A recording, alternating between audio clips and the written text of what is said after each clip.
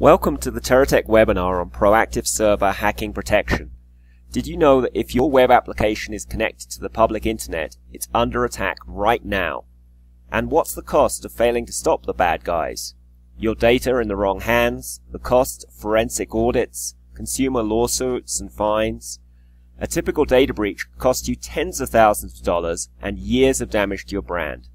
I'm joined today by Vlad Friedman, CEO of EdgeWeb Hosting, an expert on protecting your servers from threats and how to architect a high security hosting platform.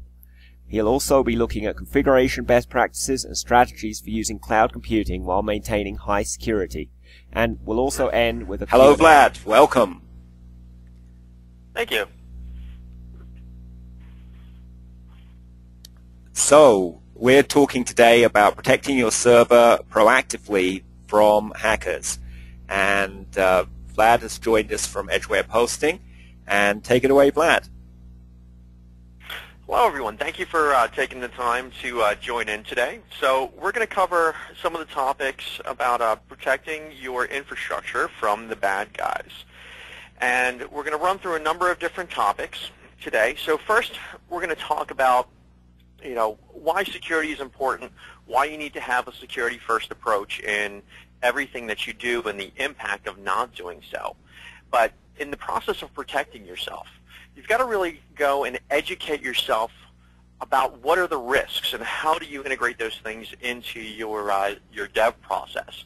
Learn how to we're going to learn how to evaluate some of the risks of what's the impact of a data breach, how to create a secure multi-tier architecture, uh, the importance of staying on top of patching, um, how do we encrypt sensitive data so should there ever be a compromise in your data, um, at least what the bad guys get would be scrambled information, um, how to go about finding vulnerabilities, and lastly, how you can leverage outside resources to help you make uh, some of those things happen. So we'll start off, give you a quick background about myself.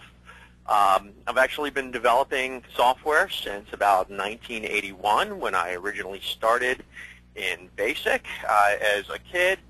And from there, just really had a passion and love for software development. And after many years, uh, wound up uh, starting my first IT services company in 1991, which is a software development company uh, focused on automotive logistics. And around the time, around 1998, when we needed to have our first website hosted, I founded Edge Web Hosting, and since that time, we've been doubling the company in size every 36 uh, every 36 months. And a little bit about Edge. Uh, what started off as uh, one uh, server in a closet and one person doing all the work today is about 50 technical gurus managing about 2,000 servers. And what's interesting is today, on a daily basis, we're blocking about 15 million attacks against our customers' applications. So the reality is if you're connected to the internet, you're under attack whether you know it or not. And we manage about 600 mission-critical environments for very large, well-known brands. And our mission is simply about helping our uh, customers leverage our people, experience, and infrastructure to help them stay up and sleep more. So let's go ahead and dive right in to a brief history of the world. So traditionally, the people who ran the world were the people with um, the greatest military, the greatest strength, the greatest amount of money. You know, here we've got the Goths, the Vandals, the Huns. But the world has changed in the last few years. And today, the geeks run the world. Because what wound up happening is the geeks don't have to be physically present to do what they do. They can be anywhere on any computer and one single individual can cause hundreds of millions of dollars of damage if they find that one hole inside of your application and manage to get the keys to the kingdom to get at your data. So we'll start off with what's security, the definition from the Oxford English Dictionary, who happens to be one of the customers that we protect against a lot of attacks. So the dictionary definition, it's freedom from risk, danger, uh, freedom of doubt, anxiety, and fear, something that gives or assures safety. And overall, security is really about protection. You have to feel comfortable. You've got to be able to go to sleep at night knowing someone's not going to have all of my data. But the big challenge is most companies invest almost all of their IT dollars in focusing on network security, infrastructure security, and thinking that uh, just having a safe perimeter is enough to keep their data secure.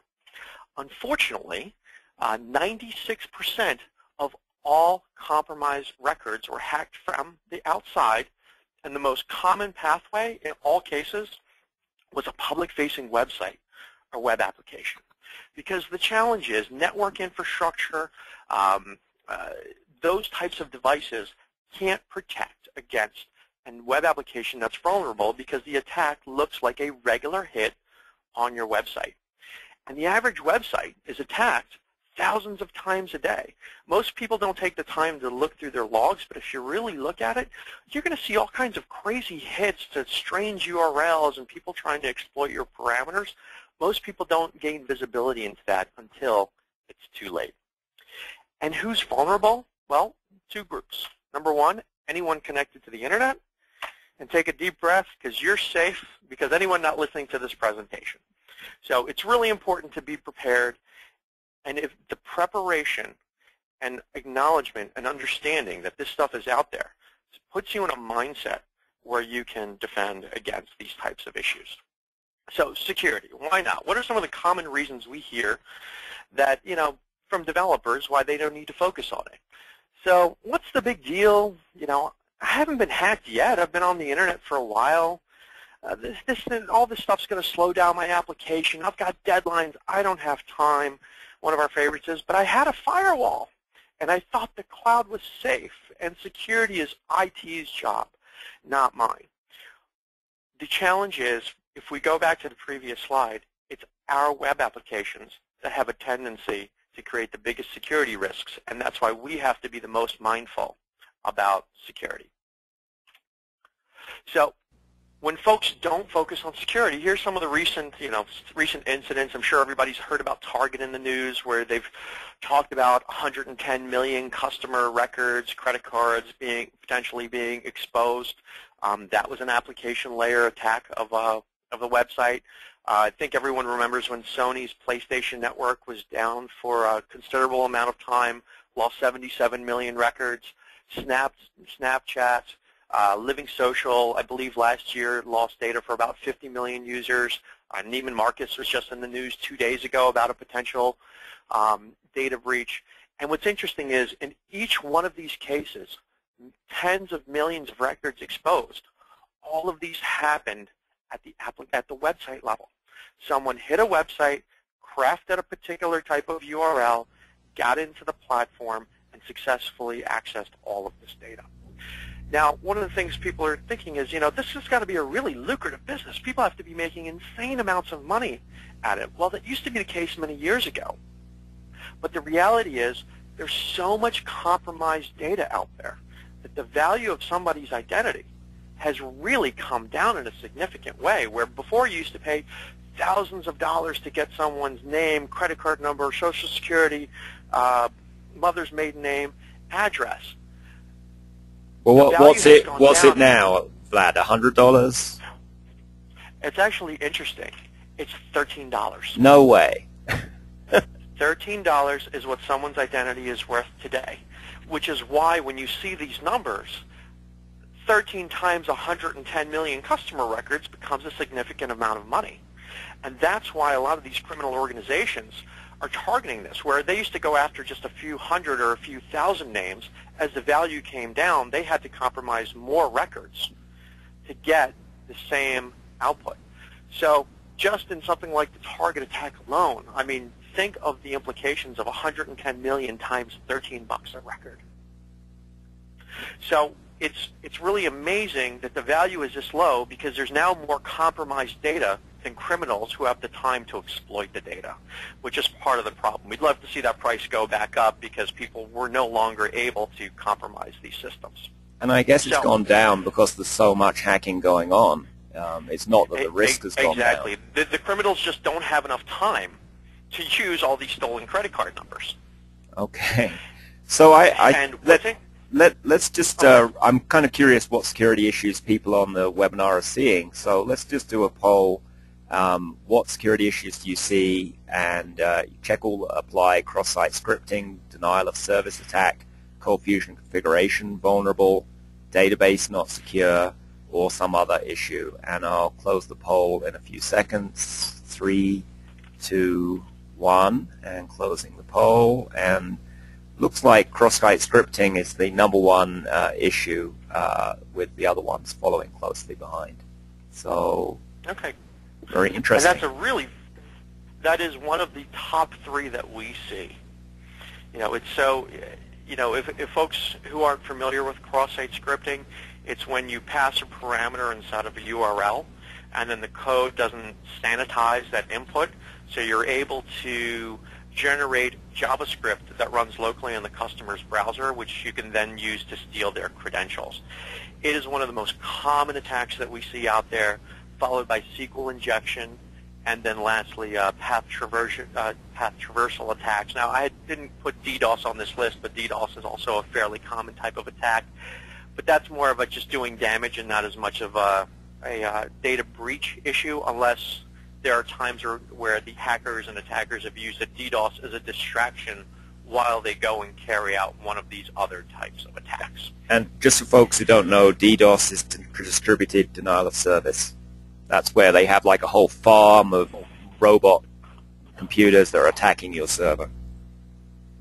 I think that the largest one that we've seen against us to date uh, was somewhere around 6 million computers attacking one of our customers and driving somewhere close to 27 gigabits of internet traffic.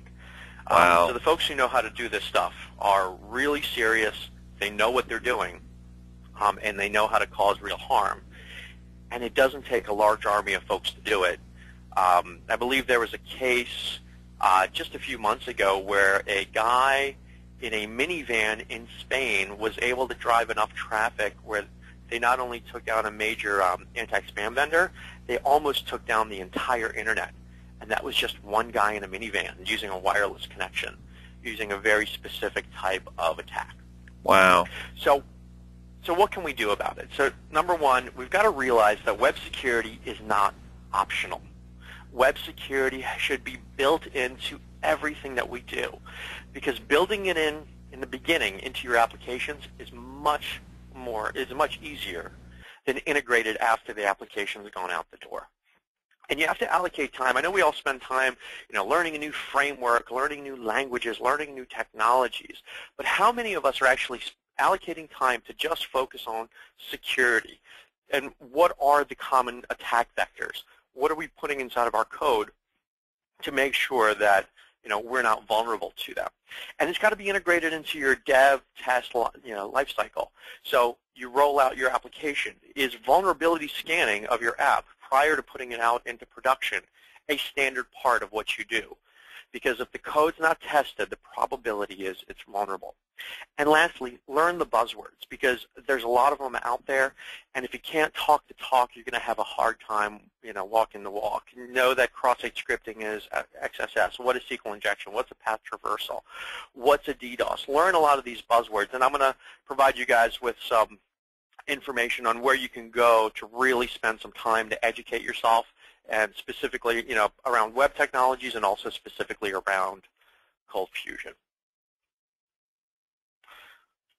So here, here are some of those resources. One of the things you should learn to be familiar with is what's called the OWASP Top 10.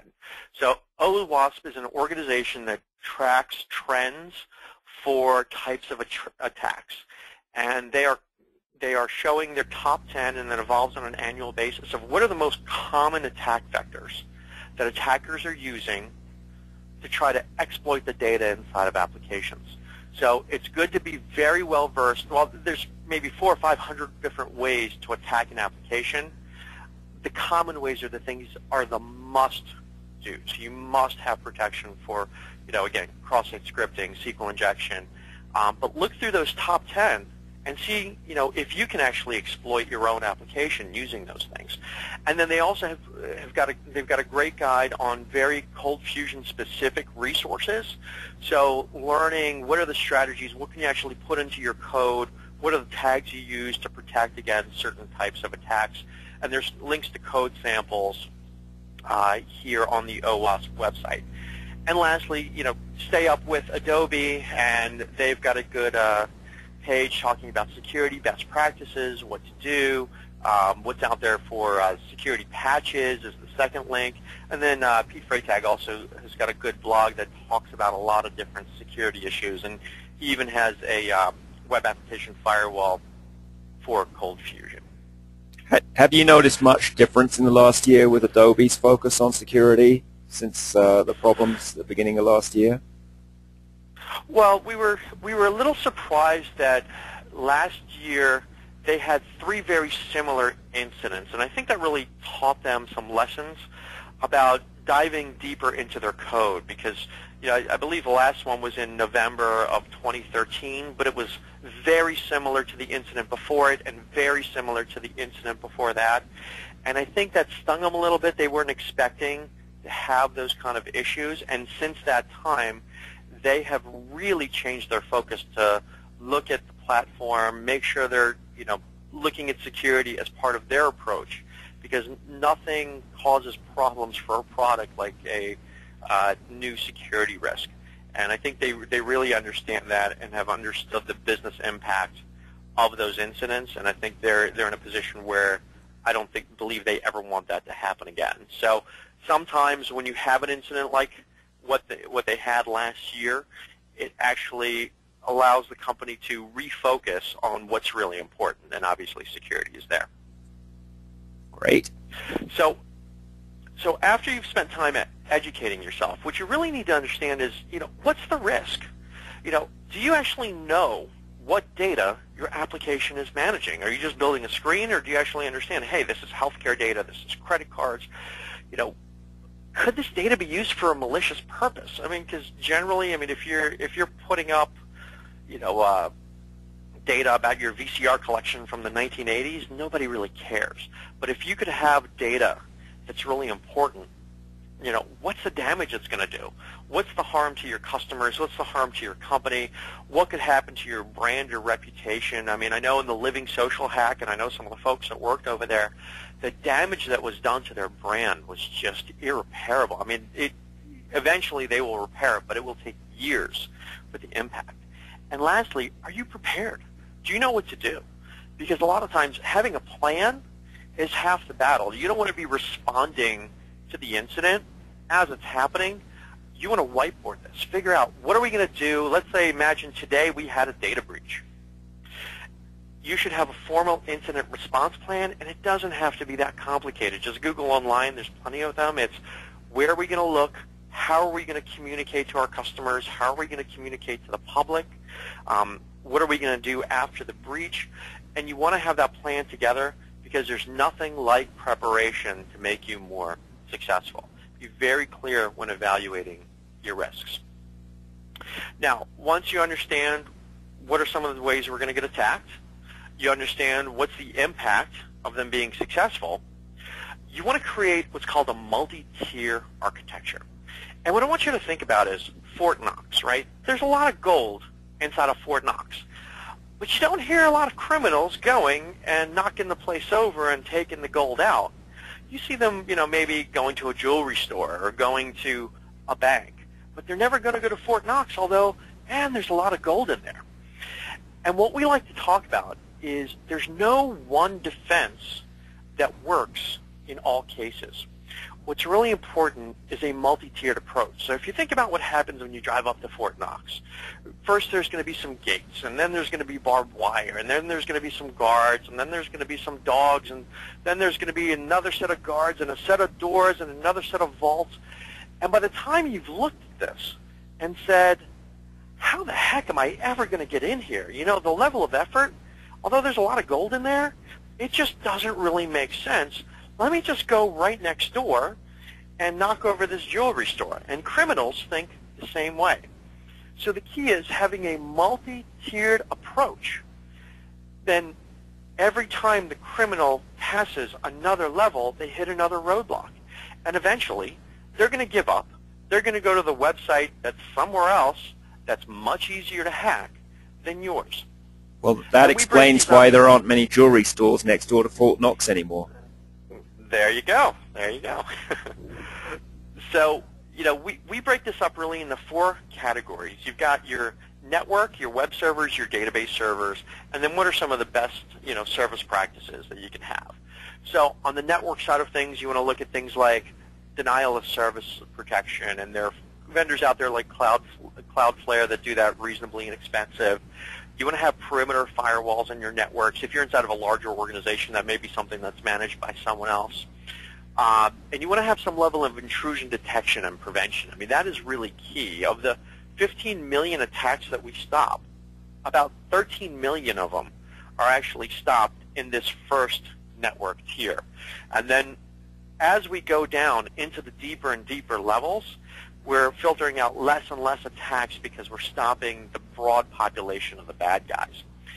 One of the other things that you would want to consider, and this, the banks have really adopted this, but more and more people are going in this direction, is dual-factor authentication, where you can either use your cell phone or a key fob as a secondary form of authentication. So in case your username and password get stolen, which is pretty easy to do, especially with cross-site scripting, you have this second mechanism for authentication. And there's companies out there like uh, Duo Security is the one we happen to use, where you can easily plug that into your application through an API, and for a very low cost, give your users the ability to have two factors. So besides grabbing their username and password, you've got to find the user, mug them, grab their cell phone or their key fob uh, before you can actually gain access to the data. Once you've filtered out the majority of your attacks there, you then have to look at your web servers, and we'll dive a little bit deeper into the web servers. But you could have your own firewall. You've got to follow best practices for hardening your web servers, and we'll go into that. One of the things that's really important, and we stop the next major batch of attacks, is, is what's called web application firewalls. There are many vendors out there that have these types of devices, either as hardware or software. Many of them are not very expensive. But when you have an issue, the web application firewall may be the thing that saves you. You want to have antivirus on all of your systems, so if someone does get on, they can't get their actual virus on your machine. You want to have separation of your web servers and database servers where the web servers are public-facing, but all your data is in a separate internal network zone and there's firewalls between your web and your database servers. And you've got to have good logging. There's nothing more important than good comprehensive logging because if you should ever have a data breach, logs are the only way you're going to find out, number one, how they got in so you can stop them, and number two, what they got so you can do something about it. And then there are other service best practices. You've got to make sure your servers are patched, you have vulnerability scanning, you're encrypting your data, and one of the things that's uh, a little bit newer, but many of our compliance customers do, is what's called file integrity monitoring, where you take a snapshot of your files every single day, just a checksum. And if any critical file changes, you record that, because a lot of times a hacker will get onto a system, place their backdoor on there, and it's hidden and no one can find it, and it's buried in the deepest, darkest depths of your server and no one can ever find it. And the only way you can find it is by taking two snapshots, overlaying them one over another, and seeing what's changed over a period of time. So that's why what we mean by the multi-tier approach. And there isn't just this isn't the recipe for success. This is just, happens to be how we do it. But there are many ways to do this. The key is put as many layers between your data and the attacker as possible to just make them give up before they get to your information. So I, am kind of curious uh, what version of ColdFusion people are running. Um, so let's just uh, ask people that. Got another poll up here, uh, whether you're using ColdFusion 10, 9, 8 or earlier, or some other version like Railo or Blue Dragon. So uh, I'll go ahead and close the poll in a few seconds. Uh, going to close in three, two, one, And um, looks like most people are still on CF9 uh, though CF10 is catching up. Do you have any uh, comment on whether the different versions of ColdFusion make any difference? Not really. I mean, it's interesting because the last, well, first of all, I'll also say, interestingly enough, the majority of our ColdFusion customers are also on 9, although we are seeing 10 growing. Um, but the recent issues that were found were actually found in multiple versions of ColdFusion, so I believe they affected 7, 8, 9, and 10. Mm. So my expectation is after Adobe had this number of issues, um, as they start doing new releases of 10 and started moving into 11, I actually expect to see more security inside of ColdFusion, more focus on it, and less incidents from them. Great. So let's go on to uh, the web app uh, application firewall that you mentioned earlier. Okay, great. So I can't stress how important a web application firewall is. And let me tell you a story about one of our customers. We had one of our customers had, you know, lots of servers, lots of infrastructure, lots of security, great coders, great technical processes, and this was actually before web application firewalls were, were very commonly available. And one day, they decided they were going to hire a summer intern. And they gave that summer intern one project. He did the project and went along in his merry way, you know, all back off to college after the summer was over. A few months later, a hacker was trying to attack their application. He was hitting every piece of their app they could and just finding everything to be rock solid because they had focused so much on security and made it part of their process. And he found the one page this one summer intern had developed and used that one page to go in and compromise an entire you know, cluster of mission critical servers because this tool didn't exist at that time. So this was many years ago. Web application firewalls look for patterns of attack. And for those of, those of you who code and you're familiar with regex, it's really looking for regex patterns. So I'll use a very simple example. Let's say I want to do a cross-site scripting attack. Inside of your parameter, I'm going to say, you know, um, bracket script, bracket, and then whatever JavaScript I want to run that I'm hoping to render. Well, a web application firewall will simply say, you know, I generally shouldn't have a script command inside of my URL, so I'm just going to gracefully block this request.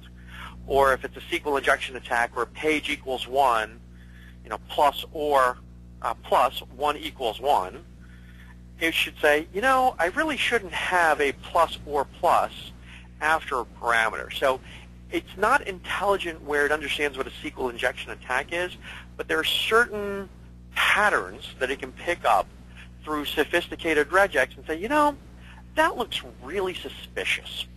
And I don't think I'm going to let this through, and I'm going to block it.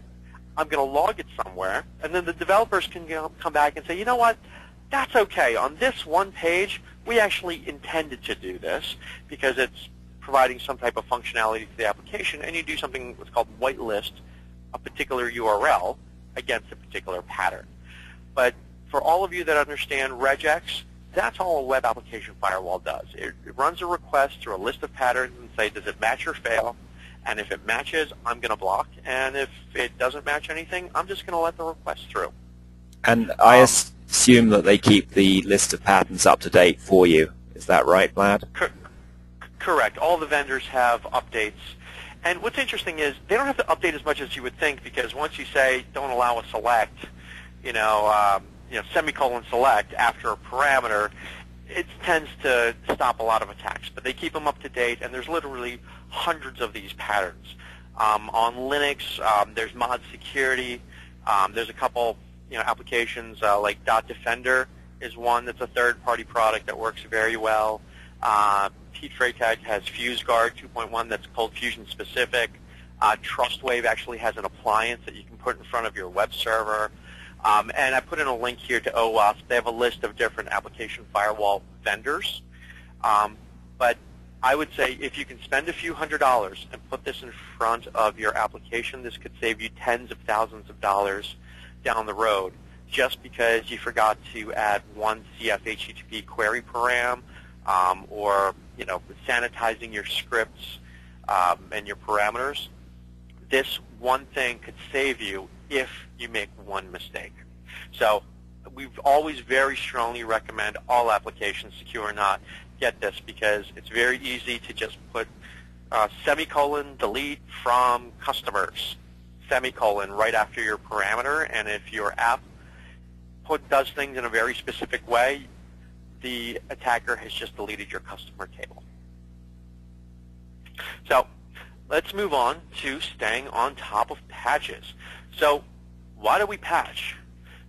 Because if you don't, getting hacked is almost guaranteed.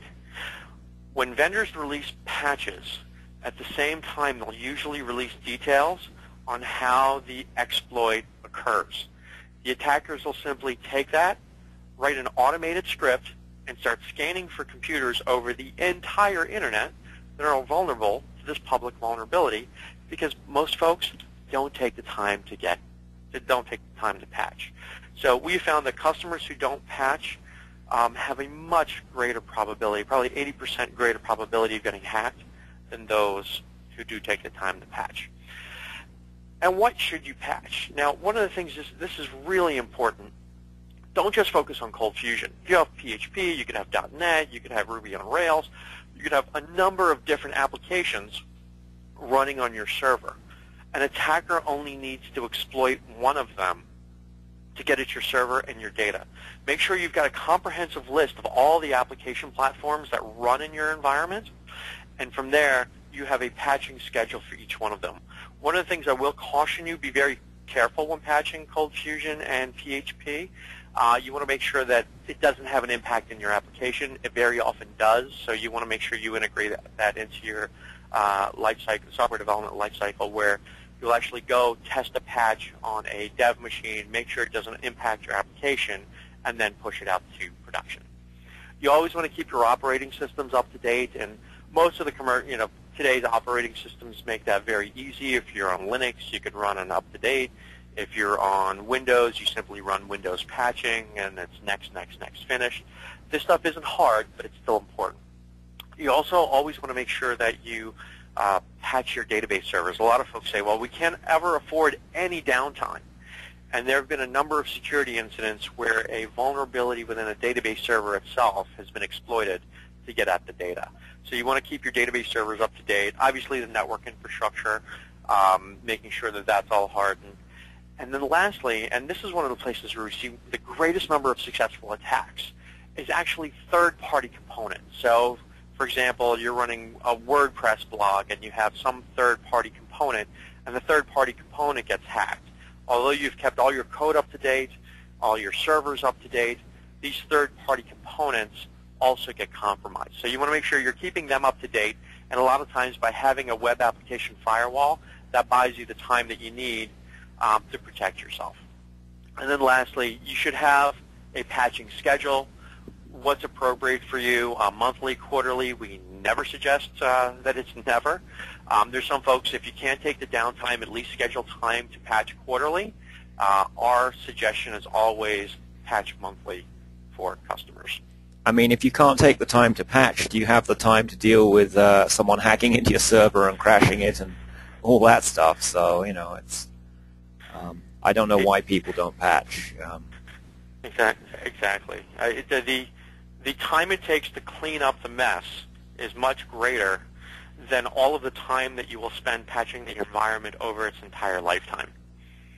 So I, I know we're going to talk about, thanks Vlad, I know we're going to talk about uh, the database, uh, what we can do there. So I'm kind of curious what databases people are using on production. So um, let's just ask a poll on that uh, and check all that apply, SQL Server, MySQL, Oracle, Access, or some other database. And I'll go ahead and close the poll in a few seconds. Uh, three, two, one. And um, looks like most folks, overwhelming majority, are on SQL Server, uh, followed by uh, a lesser number using MySQL, Oracle, and still have some folks using uh, Access and some other databases. So kind of interesting. So uh, what can we do? You know, if someone's got in there, what what kind of encryption can we do, and, and does the database you use make any difference there? The there there's certainly um, modules for the different databases that allow you to do the encryption within the database itself. Interestingly enough, it's one of the things that we don't suggest that you do. Because the challenge you wind up having is if the database handles the encryption, it also handles the decryption. So if I did select star from credit cards and got back all the results in a decrypted form, mm-hmm. that means that if I figure out a way to run that query by compromising your code, the fact that it's encrypted in the database doesn't matter because the database has presented that data mm. already decrypted back to your application. So what we try to recommend folks do is encrypt at the application layer. Let your application actually control who has access, when they have access, and do all the encryption and decryption. And be really careful how you store your keys. I mean, don't think just because you put it inside of encrypted CFM file or an encrypted uh, .NET file that someone can't recover that. So try to craft a strategy that will work so that if an attacker, using the methodology that if an attacker got on, how could I keep them from getting my keys? That's really, really important. So be careful how you uh, store your keys. And then lastly, after you encrypt inside the database, we also suggest that once you do your backups, encrypt your backups as well. Because if an attacker ever got to your database backups, um, if something wasn't encrypted for some reason, really, you want to give them a scrambled mess because again, the level of effort should exceed the value of the data, and that's the pattern that we follow consistently and recommend our, our customers do as well. So uh, if you're saying do the encryption through your uh, ColdFusion code, uh, but be careful where you store the keys, where where can people store the keys?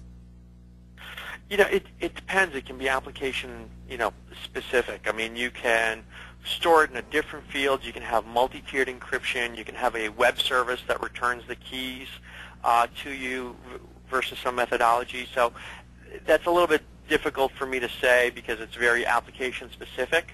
But you don't want it, let's say, in your application.cfm as a variable because as soon as I've got your application.cfm file, I'm just going to decrypt it and I'll have the keys to, to your data. That makes so sense. figure out a way to obfuscate it somewhere. It could be buried somewhere within your application, um, somewhere on a different server that you pull it in from, but figure out some way to disconnect the data and the keys. Okay. So let's go to hardening your server. And there's a lot of best practice documents out there about this.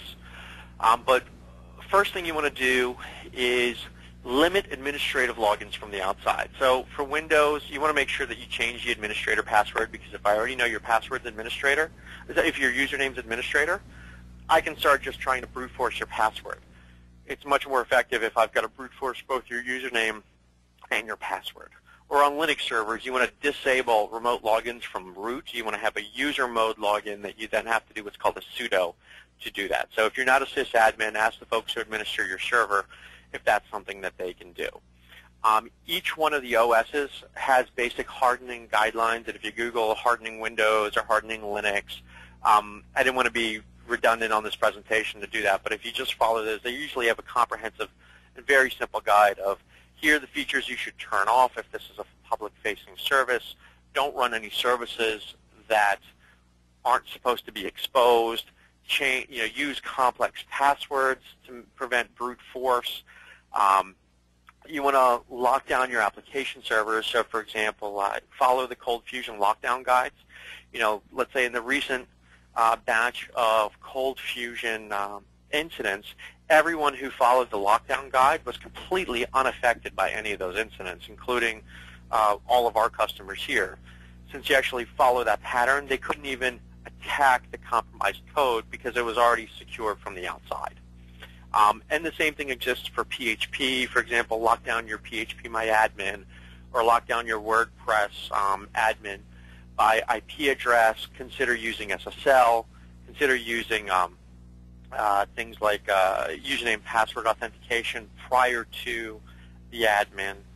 Um, and you definitely want to make sure all of your admin interfaces are locked down for everything, and then especially the CFIDE, because if someone finds another vulnerability inside of uh, ColdFusion, pretty good chance it's going to be there. The other that, thing that's a great point, of, Vlad. And uh, Russ Michaels uh, is saying, you know, you need to lock down any uh, things like Mura or other CMSs you have, as well as WordPress. Or basically anything where you've got an admin interface, because a lot of these admins have some powerful tools inside them where you can upload files and all kinds of wacky stuff. So some, once someone's broken into your admin, um, you're basically toast. Absolutely, Russ, Russ is spot on. And you know, and again, it's a multi-tiered approach. It's to lock down the folders, filter them by IP addresses, use SSLs on the admins, use complex passwords, um, do IP filters. All of those things combined just continue to hit roadblock, make more and more roadblocks for custom, for someone, um, for an attacker before they attack you or your, and get to your customer's data. One of the other things I always warn people um, just to be mindful of, there were some security patches that were created by Adobe for ColdFusion that put a post variable limit uh, inside of ColdFusion, which is adjustable um, through the XML, but a lot of our customers actually got hit by that where they were posting thousands of fields in a form post as just a way that they routinely run in, you know, in their application, and the attackers were going in and posting tens of thousands of variables to try to um, crash ColdFusion servers. So just be, uh, you know, mindful of after you patch ColdFusion, if you have places within your application that are doing large um, uh, posts of, you know, large uh, number of fields, just and it comes back with just a blank screen and it's inexplicable, just be mindful that there is something out there that you can change to increase that value. And, and you mentioned you, men- you mentioned using strong passwords, and has that changed in the last few years? Because it used to be, you know, you had like a random bunch of eight characters, it was enough, but I think I've read that that can be cracked now. It it it really can. So we're we're increasing password complexity sizes um, saying maybe use up uppercase and a lowercase, go to 10, add a punctuation mark. And the thing is, each time you add another variable in the equation, it's an exponentially more, you know, more tries they need to get at your password because it's that much more random. And that's partly so, because computers are getting faster, but uh, are they also like doing distributed, you know, they've got these bot farms of millions of things. I guess they could use those to like really have a supercomputer to crack your passwords if they felt like it.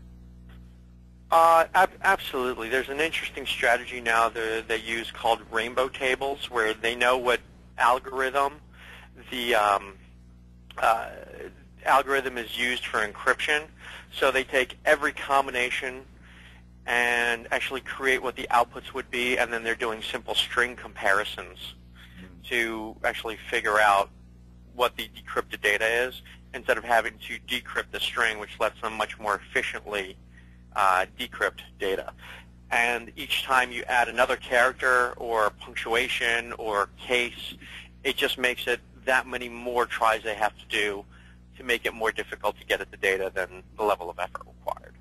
Right, and and that's not just for your admin passwords. That's in your code for the user passwords as well. I assume that you you force users to have strong passwords and don't stick like common names or words into their passwords.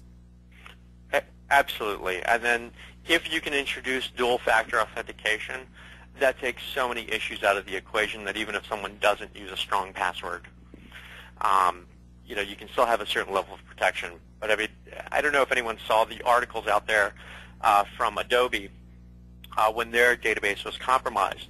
most common passwords were password one, two, three, four, five, one, two, three, four, five, six, test, you know, uh, test one, two, three. I mean, just all the stuff that you shouldn't have up there. And I'm sure that's because all those things were, were their legacy. But just be mindful that even if you have legacy data, sometimes it's worth the effort of asking customers to change password to keep up with security trends. That's a great uh, suggestion. There isn't some kind of tag you can use that would detect if the user is an idiot. Uh, I, I know that there are tools out there. I it's not something that I personally code, um, but but there are. You mean they have to go through an intelligence test before they can use your app? Uh, that is always helpful. always helpful. Okay. But uh, there are definitely third-party libraries out there that will test your password complexity and let you know whether it's you know strong or weak, and okay. report that back to the customer. Great. So I'm and kind of curious, um, you know, what uh, people are currently doing um, to lock down their apps. Um, so I've got another poll here. Have you locked, done follow the ColdFusion lockdown guide? Have you encrypted your credit cards and other sensitive data? Um, are you encrypting backups? Are you applying patches um, as they come out each month? And have you audited your code for security code, security holes, including any code written by summer interns, as you mentioned? So I'll go ahead and close the uh, poll in a few seconds. Three, two, one. And um, it's impressive. Uh, 70% of the people on the webinar have uh, encrypted their data and locked down their ColdFusion server. Uh, a lot fewer, though, have uh, encrypted uh, their data. Um, but I'm glad to see most people uh, have been applying patches, 90% of people doing that. So great job, guys. So what's next, Vlad? So next we're going to talk about um, scanning your applications frequently. So by making vulnerability testing a standard part of your dev, test, um, you know, rollout to production process, can really help identify some of those code problems uh, caused by summer interns. Uh, now, there's no one tool that is the magic, that has the magic formula to find every single vulnerability, and you have to have that security-first approach in everything that you do but all it takes is one missing line of code to get you there. And a lot of these products can actually go and find, you know, everything on the OWASP top 10, but they'll go in and scan for a couple hundred different types of vulnerabilities and provide you a report. So uh, some of the tools out there, I know uh, Tenable actually has an open source or free version of the, I don't think it's open source, I'm sorry, it's free version of their product. They have commercial versions. I know Pete has uh, HackMyCF, which is Cold Fusion specific. Uh, one of the ones we use very often is a company called Trustwave, and they have a vulnerability scanner that's very good. Um, that'll go in, scan your application for I think like four or five thousand different types of vulnerabilities, and see what you you know see what it can find out there. And it actually gives you gives you back a really comprehensive report that says, here's what I hit, here's what I tried, it's vulnerable, here's how you can reproduce the problem, and here's some good reading on how to fix this specific type of problem. So that's that's on the TrustWave reports. I think uh, HackMyCF does the same thing as well, and I believe that'll even pick up some missing patches. And Tenable's, you know, also a great tool, uh, very similar to the TrustWave, but maybe not as deep as the TrustWave product. But again, it's they have a free version that you can actually test um, your application with. And then we recommend you scan at least once a month, just as a standard course of doing business. Every month, part of your process is we run the scan and we review the reports. A lot of folks forget that second step of review the reports and see what it found. They just get comfortable with the fact that scanning is happening. So not only should you scan when you push out to production, you also need to do this process on a monthly basis because if something slips its way in, this is the only way that you're going to find it. And the last piece of advice here I didn't put up on the screen but I should mention is, and this is really critical, turn off all of your security devices from the scanner product. Because if you've got this great intrusion detection and prevention system and you've got these great app web application firewalls and all that stuff in place, that can potentially mask the problem. So you want to whitelist whatever your testing tool is so that it doesn't go through intrusion detection and prevention. It doesn't get filtered by the web application firewall so that your tool can actually find those vulnerabilities before the attackers do. Because at some point, they'll find a signature that the uh, scanning vendor didn't have in their system, and they'll figure out a way to compromise your code, or that, I'm sorry, that the um, IDS, IPS, or the WAF uh, didn't have a signature for, and they'll figure out a way to compromise your code.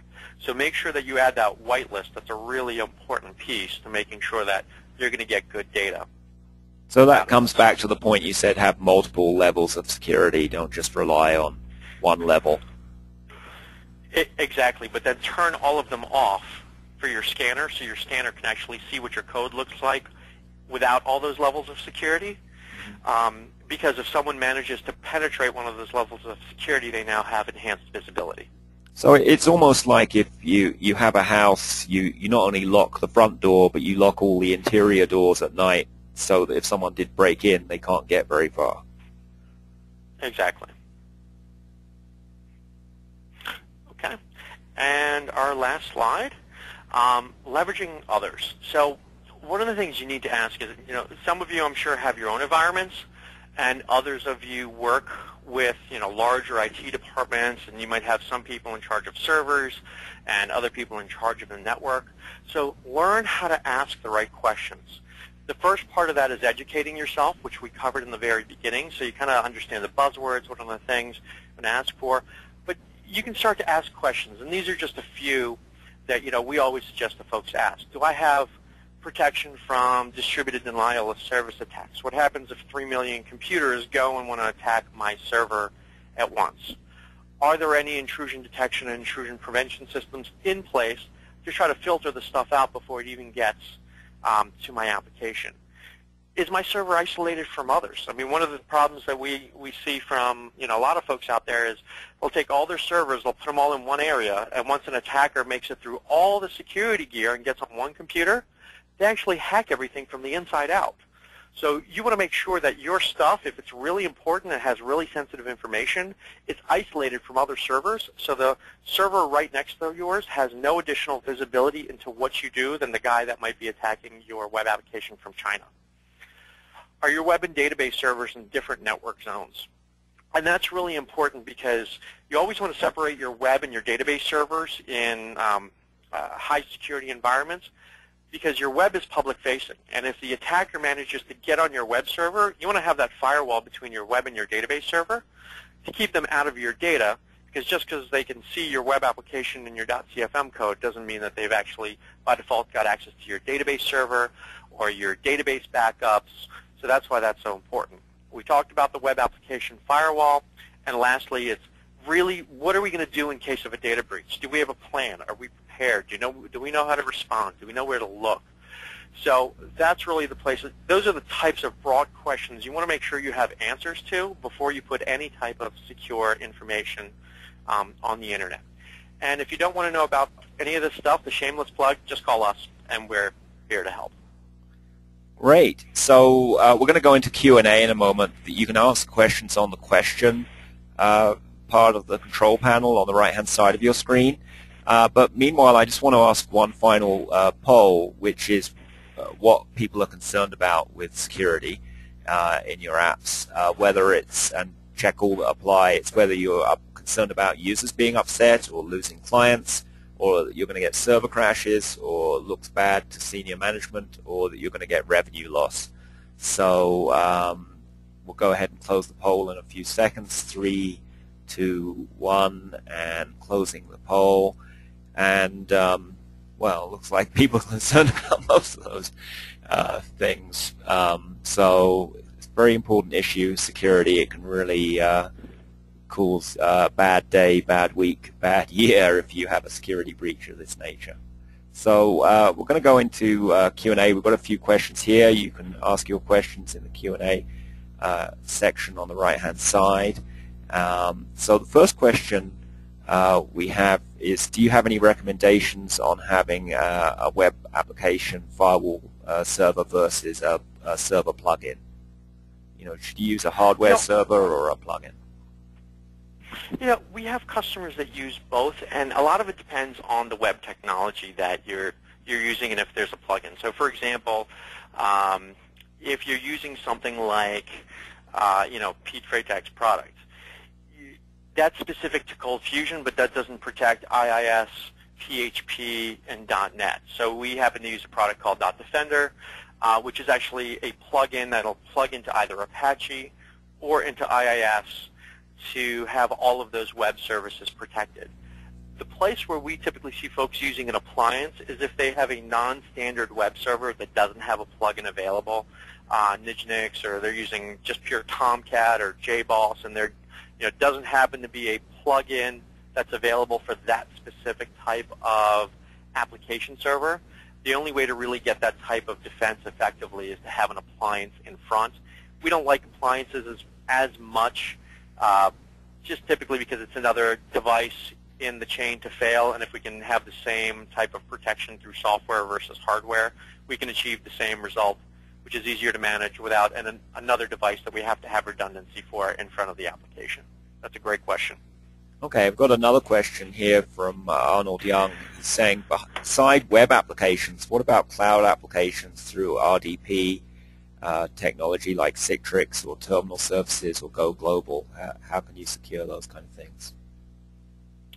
Um, well, a couple of different ways. Number one, you never want to put a remote, uh, a service that grants remote access to the server on the public internet without a firewall. That is a hands down no-no. I mean, one of the things I'll tell you we do here, we actually scan our own network from the outside looking for the same types of things that a customer would look for. So, for example, you know, open anonymous FTP servers or open RDP, you know, remote desktop servers or Citrix servers, any of those types of services that could be exposed. We simply don't permit those on our network. Um, under any circumstances, you have to have a firewall with a VPN, and if it's a compliance-based environment, we add dual-factor authentication to get onto the network prior to actually gaining access and even being able to try to connect to RDP. Um, one of the reasons why of those 15 million attacks a day, probably around half a million of them are folks looking for remote desktop servers that they can brute force. And it's that significant of a problem, which is why I never suggest that you have it open. And if you do have it open, make sure you at least have some type of IP filter in place as a minimal level of protection. Great.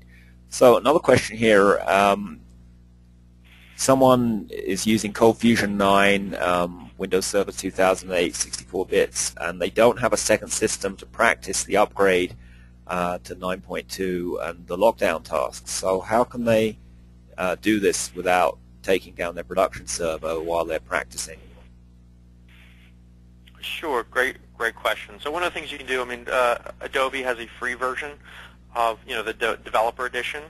Um, you can install IIS on your local computer, uh, install ColdFusion on your local computer, and if you put everything in the same paths, um, you should, in theory, doesn't work 100% of the time, but in theory, be able to copy the ColdFusion folder down in exactly the same way uh, to your local PC, run the binding tool to bind it to your local copy of IIS, and if your application actually functions from then, at that point you can see what are the implications of running 902 by applying the patches locally and making sure that you have clarity around the process and a clear understanding of what uh, impact is it going to have on your application.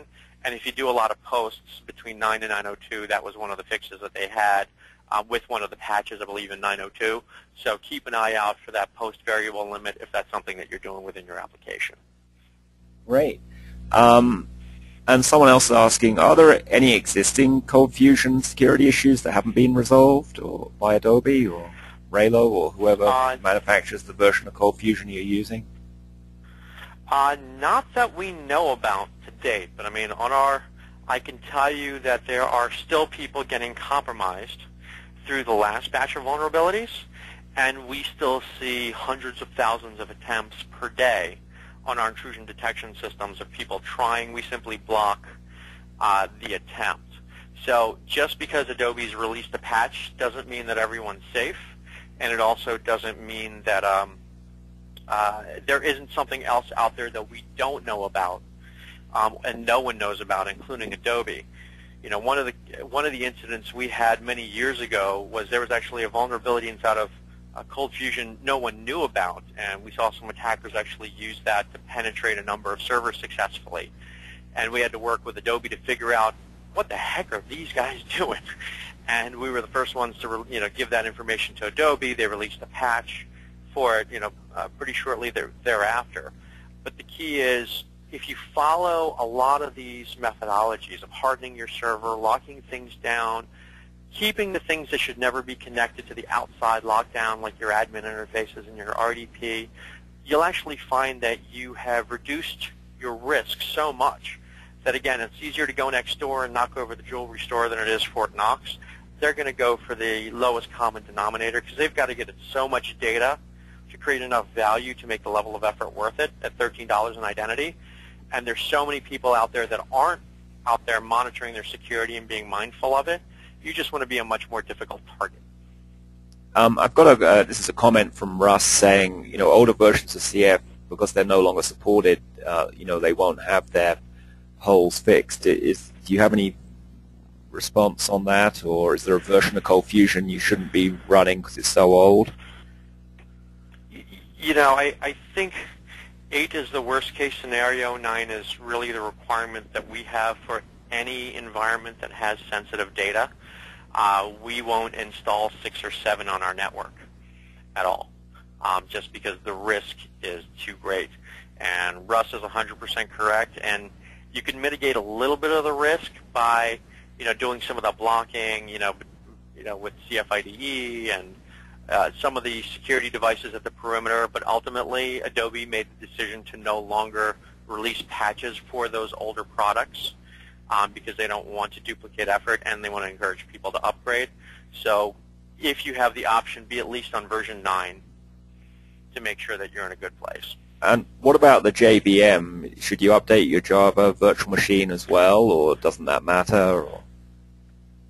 Um, you know, we, we typically do just as a matter of, you know, practice that we want to keep our customers in a reasonably current JVM, plus there were some bugs uh, in some of the older versions of the JVM, and I believe there were a couple security compromises.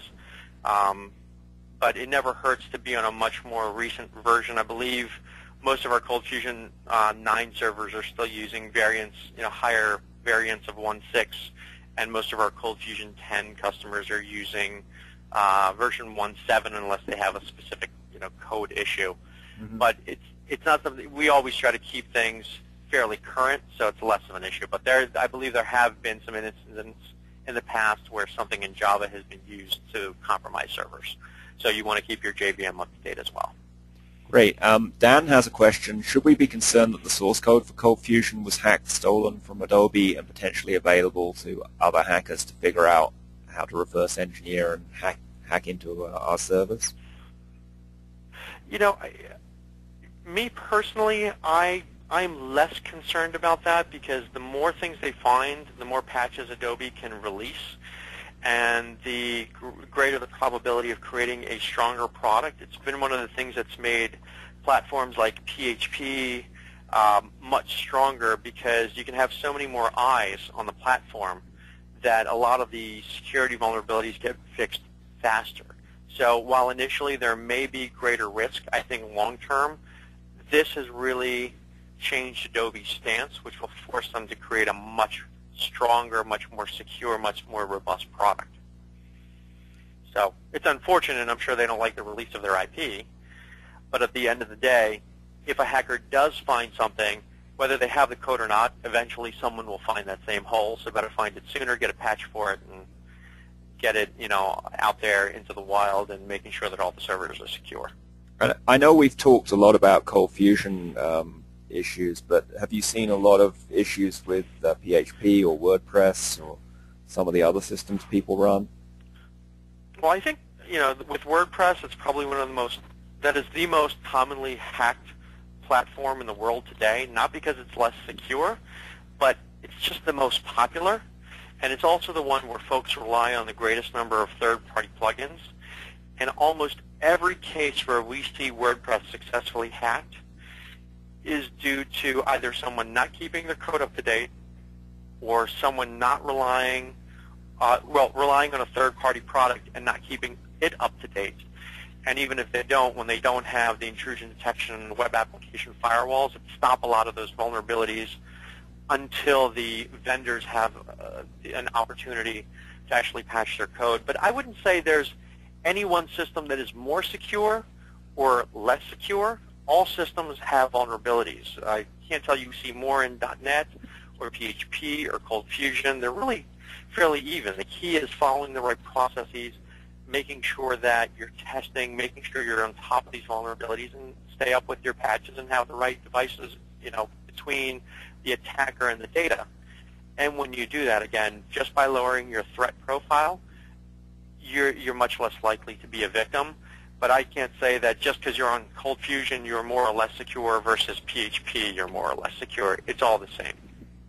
Right, partly because they're all vulnerable to attack in some way or another, and, and in addition, it's not just the application server. There are so many other levels that the hackers get in through that I'm really glad you've been able to cover in this webinar.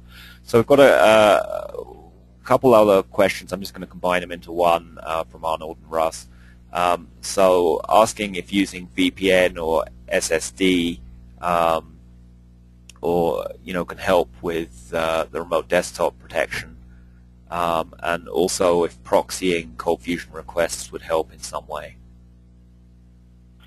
Um, proxying, I, I don't know if we really have any folks doing that. I can't tell you I've seen that be a huge um, win because at the end of the day, it's still passing through IIS or Apache or something else. I mean, if you have, let's say, Apache with mod security, you're kind of doing that already. But just having an extra proxy in the way, uh, it can help a little bit because then it only passes certain kinds of requests to the server. But we found that ultimately it doesn't drive that much better outcomes. Uh, having VPN or using SSH is just absolutely critical. And even with SSH, we don't really even expose SSH to the outside without VPN because after RDP, the second thing that the attackers try to brute force is SSH. So we typically always start with the VPN first approach. And after VPN is the only way you can then have some mechanism exposed that can provide remote administration services on a machine. And but just because it's SSH and encrypted doesn't mean it's safe because someone can just sit there and brute force SSH all day long until eventually they'll guess your password if they really want to get in bad enough. And uh, Ross is making a comment that ColdFusion runs as a service, whereas PHP runs as a process, uh, and saying that makes it potentially more secure if you set up your server correctly. You have any thoughts on that?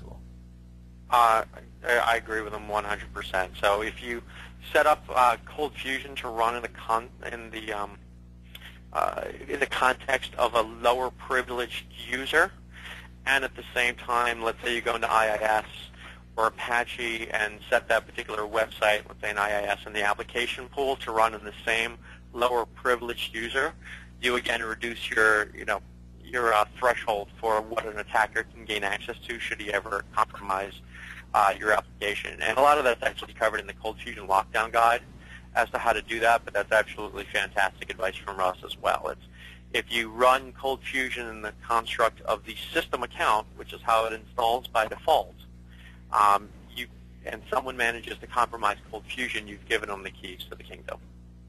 Great. Well, so that's an excellent point to end on, Vlad. So if people want to contact you, they can reach you at edgewebhosting.net. And um, also, uh, we're going to be posting these slides um, later this week, and then next week we'll have uh, recording the webinar up as well. So I'll send that out to everyone. Um, thanks so much for uh, joining us today. We'll have another webinar the next second Tuesday of the month. Um, so have a great uh, Tuesday. Is there anything you'd like to add, Vlad? No, thank you, everybody. I really appreciate your time. A lot of fun, uh, you know, sharing the knowledge with all of you. Hope it was helpful. Great. Okay. Have a great day. Bye-bye.